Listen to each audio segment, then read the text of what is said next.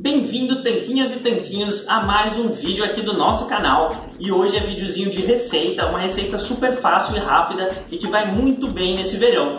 É a receita de picolé de chocolate low carb. Ela é super gostosa e super barata. Cada picolé não custa nem dois reais, é realmente muito barato, muito mais barato que comprar picolé em qualquer lugar por aí e ainda por cima é uma versão saudável de picolé. Ela fica muito gostosa e a gente já vai ver como se faz depois que você deixar o seu like no vídeo e se inscrever aqui no canal. Fazer o nosso picolé de chocolate é muito fácil.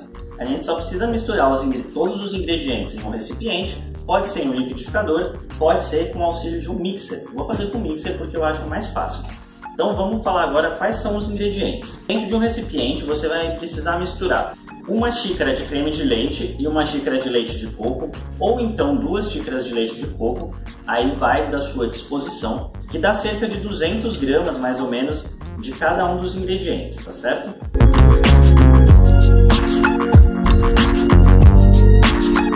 Isso que eu estou fazendo a receita, digamos assim, dobrada com relação ao que aparece no nosso livro, Inclusive, se você quiser acessar o texto que tem 5 receitas de sorvete gratuitas, tem um link aqui na descrição. E se você quiser comprar o nosso e-book de receitas de sorvete low carb, que vai muito bem para esse verão, também está o link aqui na descrição. Então vão essas duas xícaras de leite de coco ou de creme de leite, ou uma xícara de cada. Vão mais cerca de 100 gramas de adoçante xilitol ou eritritol, que dá mais ou menos meia xícara. Você pode usar stevia, você pode usar outro adoçante, mas a gente prefere mesmo eritritol ou xilitol. E aqui tem 42 gramas, 45 gramas de cacau em pó, representam mais ou menos 6 colheres de sopa de cacau em pó. Então é, esse é na verdade o sabor de chocolate realmente do nosso sorvete.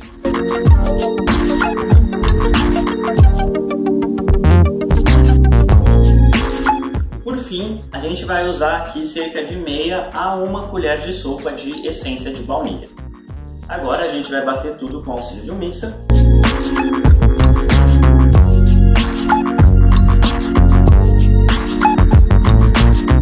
Bom, agora que tem uma mistura homogênea aqui, é, sempre vai ficar um pouco grudado nas paredes do seu recipiente. Você tenta bater o melhor possível para tirar essa parte que está grudada.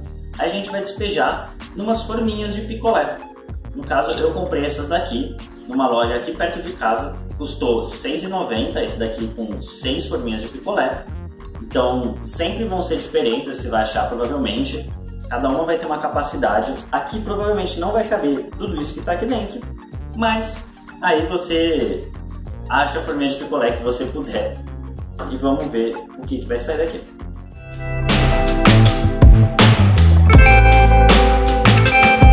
Eu preenchi aqui essas seis forminhas.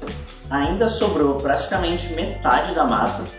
Então eu vou levar isso daqui ao freezer é claro que antes eu vou colocar os nossos palitinhos de plástico aqui. E o que você pode fazer com o restante da massa? Bem, você podia ter dois desse recipiente de sorvete. Você podia ter feito meia receita.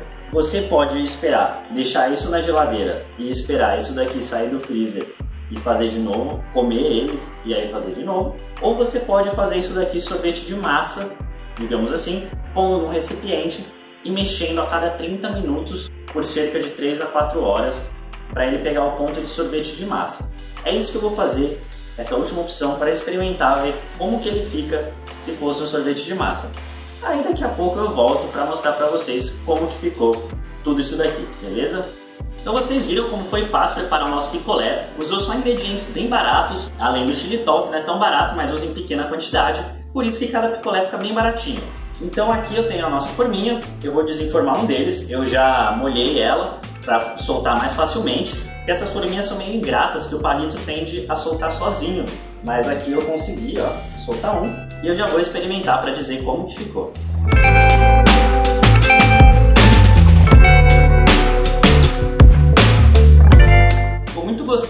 Muito refrescante, vai muito bem nesse calorzão que tá fazendo agora aqui no Brasil, né? Pelo menos aqui em São Paulo as últimas semanas tem sido de bastante calor e isso também me inspirou a fazer essa receita. Eu também fiz a versão em massa, digamos, de massa aqui é porque soltou, sobrou um pouquinho. É, ela, é claro, por ela ser picolé, ela não fica tão tão boa assim. Para você fazer ela dessa maneira, você deveria colocar um pouquinho de goma xantana, cerca de uma colher de chá nessa receita toda, já resolveria o problema. Aí é só você pôr no freezer e mexer a cada meia hora, no mesmo processo da receita do sorvete de amendoim. E se você quer mais receitas de sorvete, tem um link aqui na descrição, o primeiro link da descrição, que é um e-book que a gente preparou para você de receitas de sorvete low carb. Ele está com preço promocional de lançamento, porque afinal o lançamento dele foi nesse verão, e você pode adquirir aqui no primeiro link da descrição. Aqui do lado tem o link do sorvete de amendoim que eu te falei e ali no canto um tanquinho para você se inscrever no nosso canal agora mesmo. Então é isso aí pessoal, a gente se vê no próximo vídeo. Um forte abraço do Senhor Tanquinho.